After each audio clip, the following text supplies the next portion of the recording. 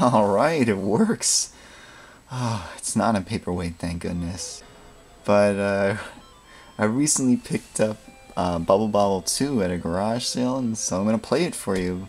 If you haven't watched the last results video, this, this kind of spoils what I found, so maybe maybe go check it out. I I have the whole the whole sale there, you know.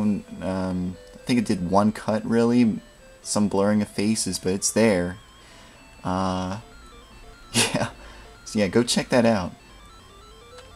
And, and you know, this is this is one of my holy grails. You know, I, would love to find a Vectrex and an Atari 5200, but in terms of games, this is my holy grail.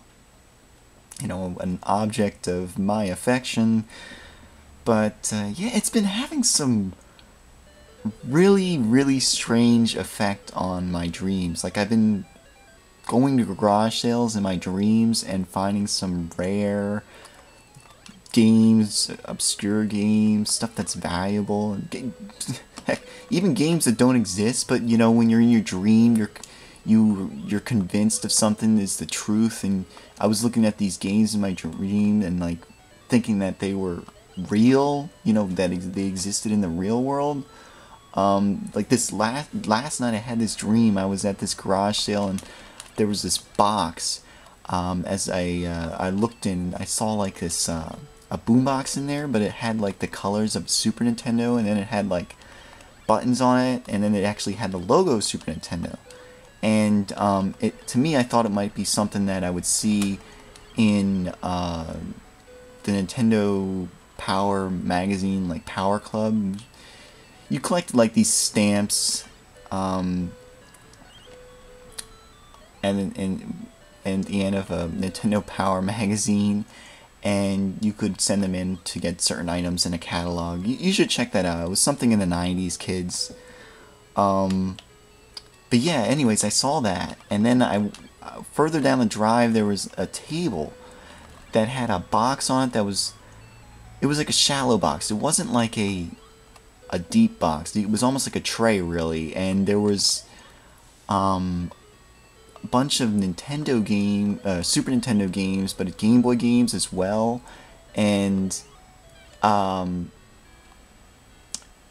yeah, I remember looking at the games. Some of them, like I said, don't they didn't even exist, but the, you, I picked them up and I was thinking like this is a rare game, and well, there there was a boxed uh, Lufia there, and uh, what else was there? Just you know it was, it was crazy you know the, the kinds of stuff i was seeing at this garage sale. Just and and it's been happening like that all week. Like another dream i had i found like a, a turbo duo and a pc engine. And you know some of this stuff i'm like it's not my stuff that i really want but i mean i recognize it as being rare valuable collectible whatever. And uh yeah it's like I don't know, my brain's still excited from Saturday. Uh, like there's still aftershocks from like almost like a bee sting, you know? Uh but more pleasant, I guess. uh, a lot more pleasant actually. I hate I hate being stung by bees, obviously most people do. but yeah, I mean, why do I I value this game so much? Why is it a uh, holy grail. It, it, I mean, it's a holy grail really for one reason. It's hard to find, but why is it a holy grail for me? Uh, well, first of all, I love uh, Taito games, and I love blah blah blah. Like I, I like these games a lot. These kinds of single screen, uh, like you fight all the different enemies and you know you clear all the different like Rodland is one, Buster Brothers, um, Nightmare in the Darkness is a really obscure one, but uh, Snow Brothers, stuff like that. I, I like those kinds of games, but but this you know Taito always seemed kind of crazy in the way they they they scored you or they gave you uh, power ups. You know all the different power ups they give you. Uh, It, oh, come on. I just lost two hearts. but yeah, it was just always so interesting when you're playing these games because you never really could tell what was going on what, or what was going to happen. You know, each each time you played, it was definitely uh, a unique experience. Come on, come on, come on. Yeah. Ugh. Got that guy. And uh, yeah, I mean, like even in this game, they're like, I've had this game on the uh, the Game Boy since it was uh, contemporary. You know, like I got uh, I think I got it from FuncoLand. But but uh, oh my god, I want to play with the gem, gem, gem, gem, gem, gem. Yes. But yeah, I've had it since I've had it on the Game Boy, and there was like these gems that you collect, and I think they give you like, I think they give you like a special ending, and so like each time you played or each time I played, I really wasn't sure whether I was gonna get I was gonna get the the right ending or the best ending. So there's always like a reason for you to go back, you know, reason for you to not just score. I mean, Score's a really big factor in the arcade, and even here, I guess, too, like at home. I mean, it doesn't save it, which kind of sucks, but... But, you know, there's the score, and you get that. But, am I fighting a tuna can? What the heck is this guy? Looks like a... Like a chicken of the sea can or something. Um... But yeah, that kind of, like, you never really know whether you're getting there's there's always oh come on an ending to the game that you're not getting and that that was a big incentive for me to play this game over and over again.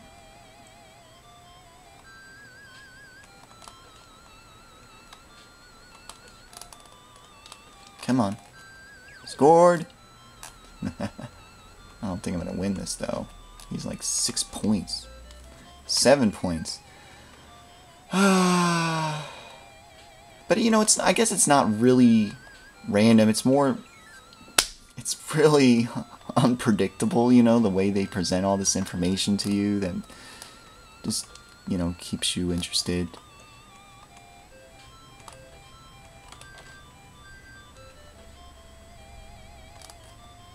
Look at this grimace. and I, I guess that's why I really like you know, there's this cartoon, uh, Felix the Cat's cartoon in the 90s called Twisted Tales of Felix the Cat, and it was always so.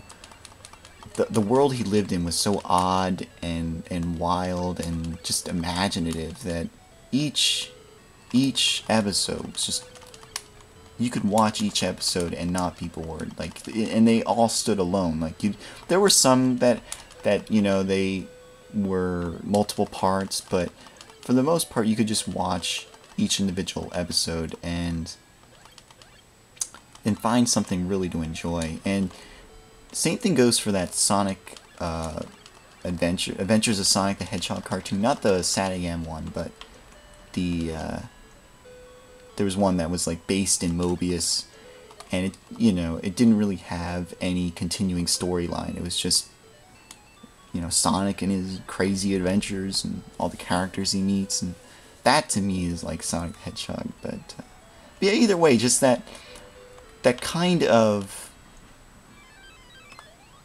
unpredictable nature really draws me back. Oh God. oh man. Um, draws me back to like these Taito arcade games, you know that they give you that really that one more go kind of there's that one more go kind of appeal the you'll you to constantly like adapt because it's like you know you never know what you're gonna get in these these games so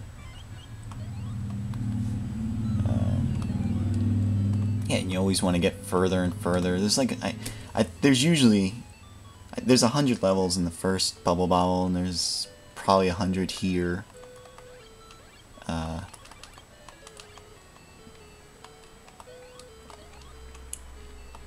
this guy's butt. Uh, I could actually probably turn on my turbo. I have a, a Sansui Joy-Card Triple S controller. I actually found that at a garage sale too. But uh, it's my favorite controller for the NES at least. And oh god, I'm gonna get hit. come on, come on, come on. You turd. Ah. Uh, you know, one thing though I noticed is the compared to the first game, this is like they don't give you as many power-ups, like things that actually improve your speed or how fast you fire bubbles or how far you fire bubbles. They uh they darn they do they still do give you a lot of points though. Oh come on! I think I died like three times there. These stupid little purple helicopter buttheads are pissing me off.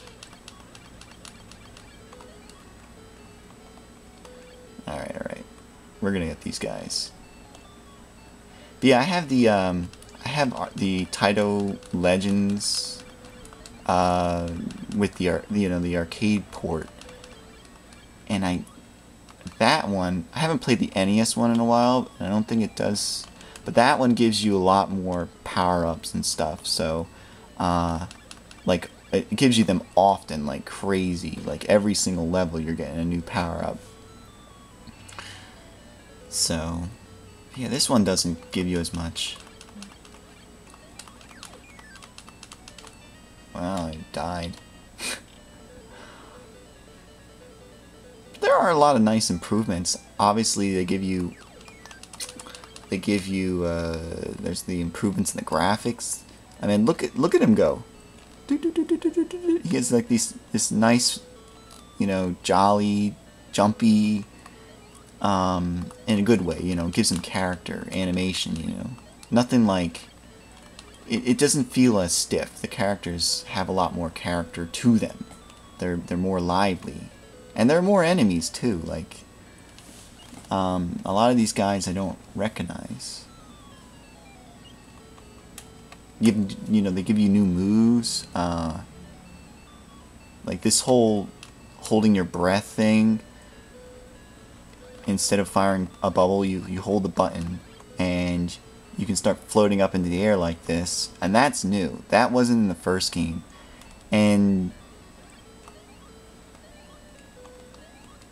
you know, I the Game Boy game. I, I had the Game Boy game. Uh, like I said, I got it from FuncoLand when it was new. You know, not new, but I got it from FuncoLand when it was when it was a current game. Come on. Come on, you can get the gem, get the gem, get the gem. Yes! Alright. And, um, Come on, get out of the hole. But yeah, that's where I learned all the different moves and stuff and about those gems. Because I had the mail and everything for that one, but sadly I didn't buy everything when I had the chance for the uh, Nintendo, but, but yeah. When, when it comes to like Holy Grails, have any of you guys found yours? I mean, probably most people have at least one thing that they'd really love to find and and not not just really because it's valuable you know like oh that's worth $10,000 so I can make $10,000 on it. I'm, I'm, I'm not talking about that. I'm talking about things that you actually want you know? You go out you go out to garage sales or flea markets to find things you want. Uh, and so have, have any of you found yours or at least one of yours?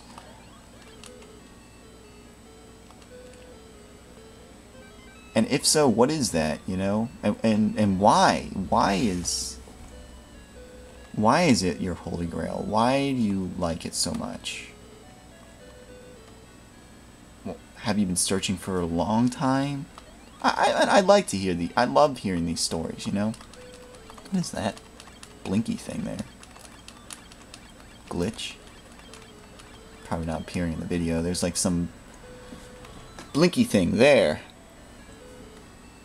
Now it's gone. Now it's back again. Probably, yeah, they can only draw so much on one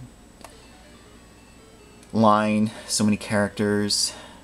And, you know, this was a late release, so I mean, they mastered it pretty much in terms of the technology, the NES.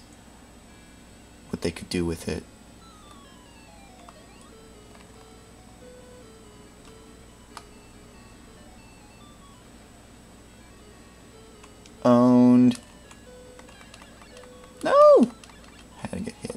To get hit. yeah, this was, I think, like 93 or 94, so... This is super late.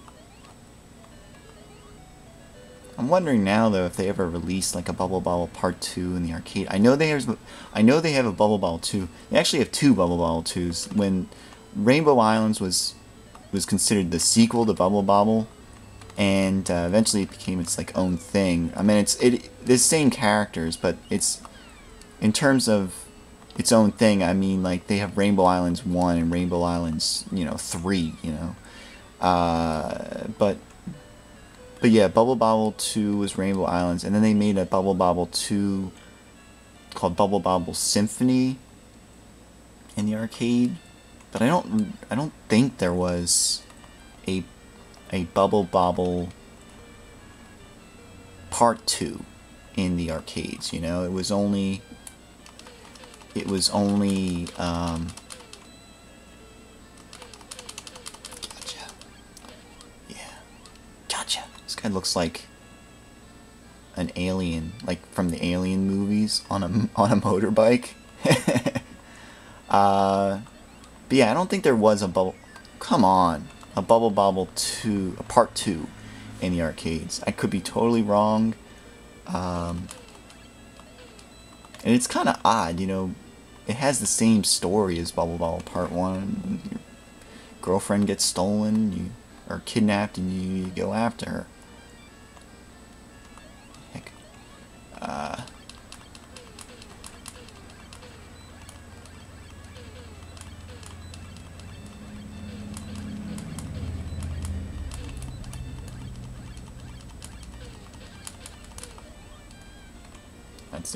Best way to do it.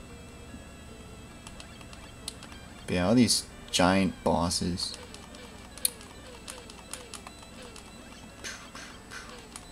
I haven't seen any new power-ups though. Oh god, I'm gonna die.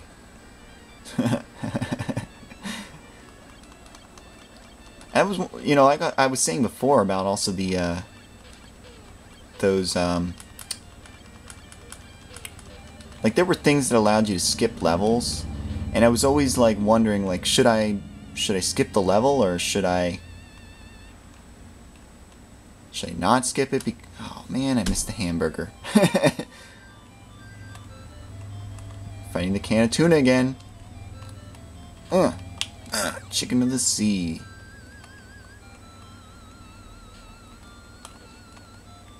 Actually, where's my password? The Game Boy gave me a password when I defeat a boss. Oh, come on. I'm gonna defeat you, can of tuna. Maybe I can only get passwords if I defeat this jerk.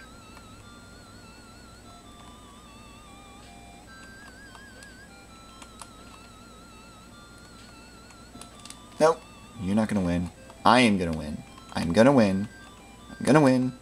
I'm gonna win. I'm gonna win. Damn it. I suck at this. so yeah, this is Bubble Bobble Part 2, and I obviously gonna recommend it